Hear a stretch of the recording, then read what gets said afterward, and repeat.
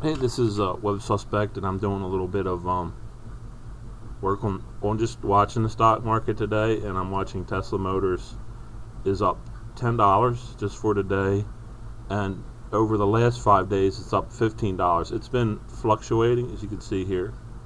Not a lot, but a little bit. And uh, But what I noticed here is um, when you see this green and this red, what that is, is that is Goldman Sachs and the other large banks that have um, high frequency stock trading. God dang it. Alright.